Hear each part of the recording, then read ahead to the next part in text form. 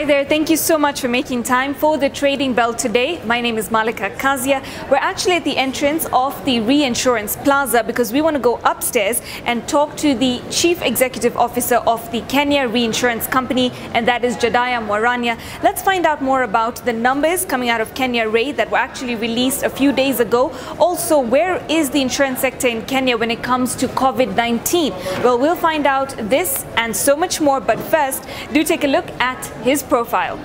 Mr. Jadiah Mwarania is the managing director of the Kenya Reinsurance Corporation Limited. He has worked with the corporation for over 25 years and was previously the general manager reinsurance operations and acting managing director. He holds a Bachelor of Commerce and Master of Business Administration from the University of Nairobi. He is a fellow of the Chartered Insurance Institute of London and the Insurance Institute of Kenya. He is currently pursuing a PhD in strategic management at the University of Nairobi. Mr. Mwarania is a chartered insurer of the Insurance Institute of London, the highest and most prestigious level of professional achievement with the institute, and a fellow of the Kenya Institute of Management. He is also a member of the Board of Directors of Industrial Development Bank, ZEP-RE, and the Chairman Executive Committee of the Association of Kenya Reinsurers. He is a board member of the Insurance Training and Education Trust Board and member of the Finance and Development Board Committee of the College of Insurance of Kenya. Mr. Mwarania is a holder of the Order of Grand Warrior Award. So thank you so much for making time for us. Welcome. Let's begin with the numbers that you released, uh, I believe, a few days ago. We saw profit before tax actually soar compared to 2018. So for mm. 2019, the figure was about 4.18 billion before mm. tax, after tax about 3.9 billion. Um, you know, tell me a little bit more about how we arrived at these numbers in terms of the factors that were surrounding it, especially given the economic situation. Yes, you're right about the economy. Uh, last year was a very challenging year in terms of the markets across Africa, actually I would say globally. Uh, when you look at the results or the profitability of our insurance company, it comes from two main streams, that is the gross written premiums and then the investment income. Now, on the on the reinsurance side, we had so many challenges, which included the domestication of so many markets that we operate in. We saw under price undercutting is still an issue in many of our markets, uh, a lot of competition, and so on. But as a corporation, we have a strategy, a strategic uh, plan that we implement. Uh, we, are, we would say that uh, we were quite particular about the way we implemented, and we saw a growth in, uh, gross written premiums of up to 18%, uh, which was a major contribution to the profit. Then on the investment side, also uh, we have the same strategy addresses issues to do with the investment, uh, which we have detailed quite clearly in terms of selecting the investment products and uh, the timings of liquidating each, uh, some of them uh, and reinvesting. And again, we saw an increase of 10% growth mm. in the investment income. Now it is a combined effect of these two, the investment income and the insurance premium, that actually saw to the 35% increase in profit before tax and actually 74% uh, after tax. Okay. When we talk about the dividend, um, we have seen that Kenya Re seems to be holding back on the dividend payment. Uh, why is that the case? It's really, I wouldn't call it holding back. It's a policy. We have a dividend policy which is uh, paying up to 30% of uh, the net profit after adjusting for certain uh, uh items like non-cash items in the profit. Uh, the corporation uh, has been holding quite a bit in terms of retained earnings, and we see this as a growth strategy because this, these same resources are used for, for growing. A quick example would be what happened last year when we issued the, the, the, the bonus shares and that was necessitated by our needing to increase our capital for purposes of penetrating certain markets or retaining our business in certain market, Egypt in this case. Uh, it is it is important also to realize that given the shareholding structure of the corporation and the very big diversity of the shareholders, uh, if there was a need for capital injection, it would be fairly challenging to to get uh, this capital injection from the shareholders. So part of that retained earnings is, is really not holding back. It's an attempt to avail resources or capital for purposes of expansion the company will for sure continue expanding going into the future, into the markets and into the products that we are doing. That will call for more capital. And uh, uh, secondly, we also need to maintain our rating by AM Best. If you've looked at the rating drivers, uh, one of the key one is actually strong capitalization. And the retained earnings is counted as part of the uh, capital structure of the company. So again, to sustain a good rating by the rating agencies uh, for purposes of attracting new business to the company and ensuring the company grows, it is necessary to hold some of that. But we are not saying that uh, we don't pay dividends. We have paid dividends every year. Uh, and actually, if you look at the, the, the, the policy we've stuck to it, 30%, sometimes slightly more, has been paid. So it is, in, uh, it is actually the corporation's policy to pay dividends every year, and that includes this year. We'll pay 10 cents per share, but remember, these are now for every share held before last year, it became four shares. Mm. So we are actually saying it's 10 cents per share, but uh, it's actually 40 cents because of the duplication of the number of shares. Okay. When we talk about um, additional 2 billion shares that were added last year, how has that impacted the business? Uh, first, like I've already mentioned, it uh, helped us in terms of increasing the capital uh, requirement, uh, requ- uh, capital uh, paid up capital from 1.7 billion up to 6.99, call it 7 billion. And that was very necessary for purposes of retaining our market share. Egypt was a case. We think the Maghreb area Middle East, uh, they're going to follow the same trade where they require certain minimum capital for a company for you to be able to do business. So had we not done that, we would have lost business in, in, in Egypt. And if we had lost that, of course, the impact would have been direct in terms of reduced uh, growth in the gross uh, premiums and gross profitability uh, at the end of the day. Profit would also have gone down. If it goes down, of course, what goes uh, get paid as dividends is also less.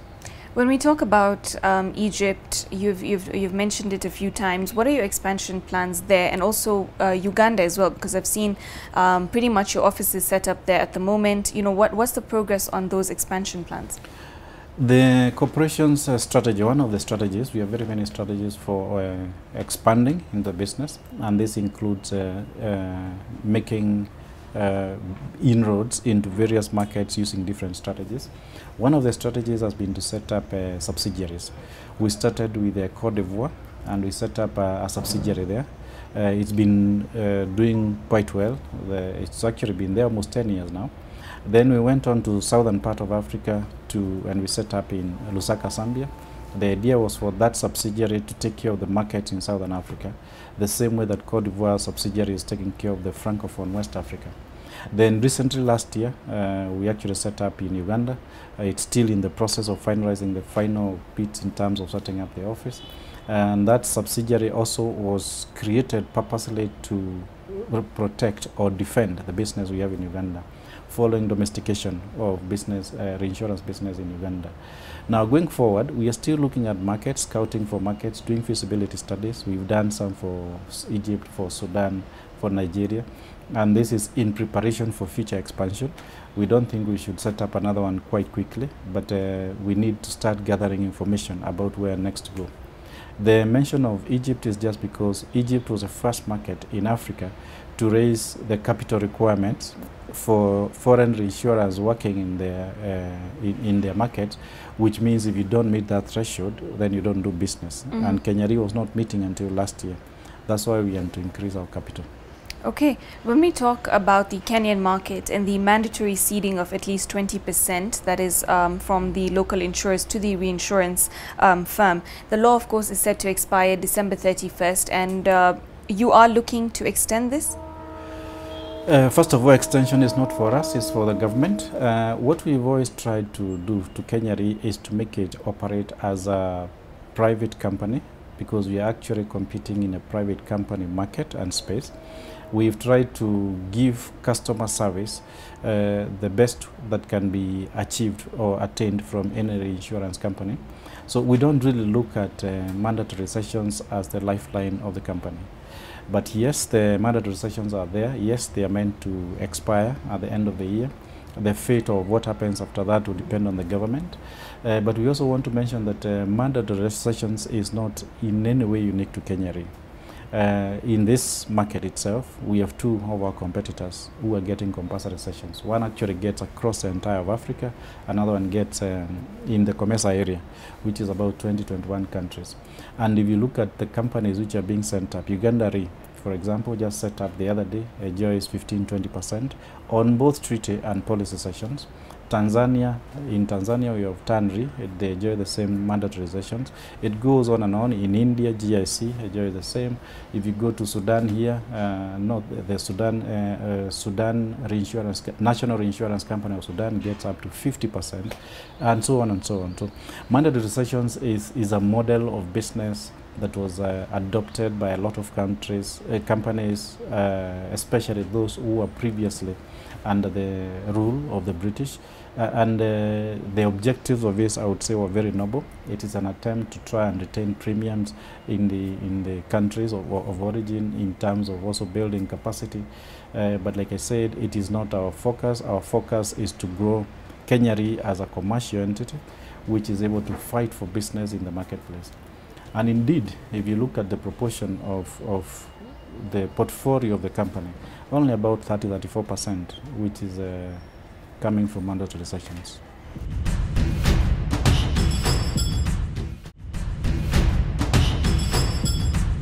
When we talk about some of the challenges in the insurance sector, I think undercutting of premiums has been something that many people have mentioned as a great challenge. What is your take on that? It is a reality. It's been there. Uh, we've done the best we can as reinsurers to try and discourage it. Uh, it is a fact that uh, undercutting is not uh, intelligent. It is not uh, smart to undercut. It is actually undercutting. The definition of uh, uh, the way I would like to look at undercutting is actually accepting a less price than the product you're giving. And it is not sustainable in the fullness of time because uneconomical rates would easily lead to a downward spiral in terms of performance of a company and even probably shut down but it is a reality is because uh, of the great homogeneity in the products of insurance that and insurance that uh, maybe some players find it easier to compete on the part of the price. It's a very short-term measure. It is not sustainable. We don't encourage it, but it is there in the market, and uh, as reinsurers, uh, we've tried to encourage as much as we are able our cedants to charge what is economic rate. We also would appeal to the regulator to ensure that companies uh, adhere to the minimum rates they have filed with the regulator. Okay. Um, coming back to the global situation right now with COVID 19, the pandemic that is gripping nations across the world, um, you know, when it comes to the World Health Organization coming out and saying that this is a pandemic, already insurance providers across the board do not cover that um, situation there. For Kenya, where do we stand right now?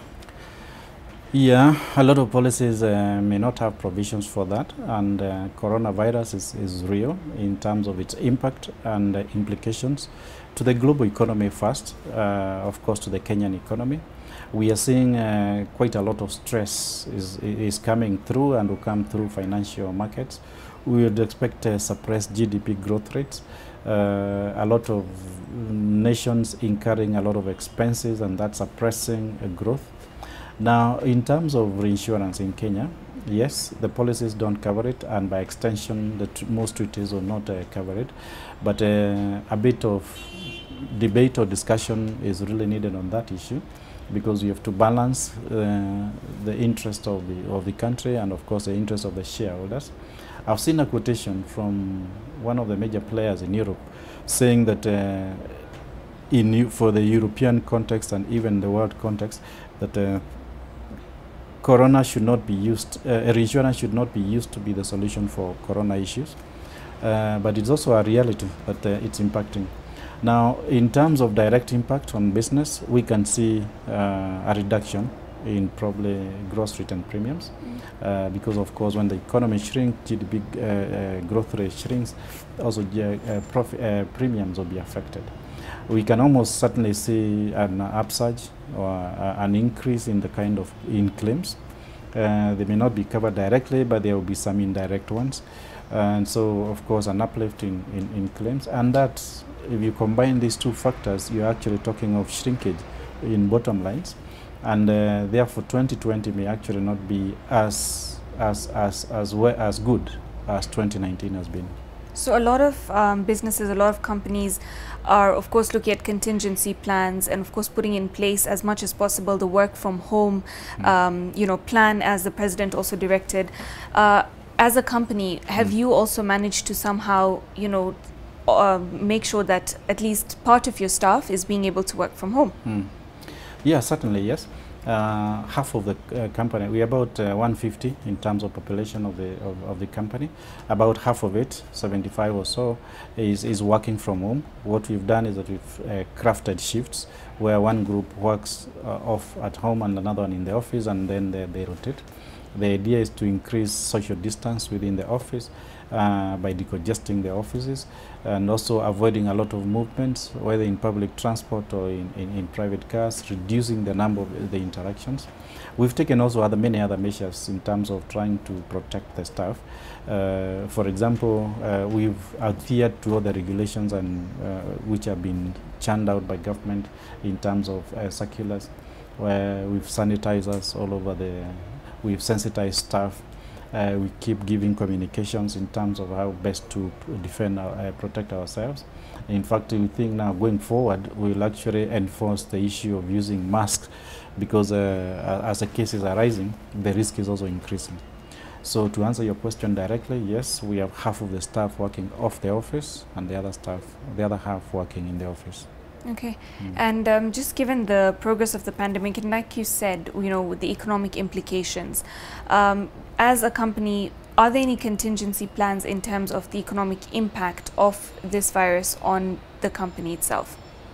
Yes, like I said, uh, one direct, uh, in terms of the business, one direct impact we might see is a shrinkage in the gross written premiums, uh, which will also go with probably an increase in, in claims, which will directly affect the profitability. We also see an impact on the investment income, negative impact, because uh, of course investing activities are going to be reduced. And, uh, and uh, because of the measures we are taking also, you would expect operating costs to slightly go up uh, because we have to provide for, for it, in, including reduced productivity. Uh, truth be told, when people work off the office and when they work in the office, the levels of productivity is likely to be less.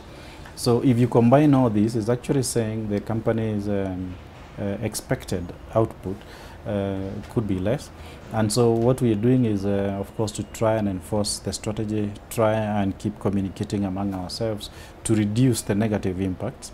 And uh, wherever we see an opportunity, uh, which is quite difficult in this kind of an environment, then we take advantage of it. okay Mm. and even as we wrap up just your final word to shareholders of Kenya Re and um, you know just your reassurance of perhaps what to expect in the future Uh, shareholders, of course, uh, they are the owners of the company. Uh, the company works uh, very, very in a very focused manner, uh, following its five-year strategic plan, which we set up in, 19, s- uh, in uh, 2017, going to 2021. We have seen a lot of the targets being achieved in this in this period, and what we will tell them is keep your investment in Kenya Re. It is actually a company of the future, I would say it is obvious that uh, the price at which the the shares are trading is far below the fundamentals, which to me is, is like a capital savings for those who have invested in the company. Uh, it is always good to buy a stock when it is it is at a lower price, as long as the fundamentals actually dictate the value of it is higher, uh, because. Uh, if you look at the various sensitizations or visibility stands that are coming out, when you look at the global markets and uh, investment opportunities that have shrunk as much as possible in the European and the American world, uh, the, the, the stock of Kenyari will certainly rise. And uh, in fact, one, one of the things we've heard from some of those who are looking for their shares is that they can't find it. So I would say the shareholders are, are fortunate to be holding the stake. I would encourage them to hold it and even increase it where possible. Uh, they can only benefit. For every year, the last 10 years, for example, uh, shareholders were paid a dividend, including this year. Last year, on top of the dividend, they also got uh, the, the bonus shares, four out of every one that held. So I think it's a company of the future to invest in. Okay well, thank you so much for joining us Thank you.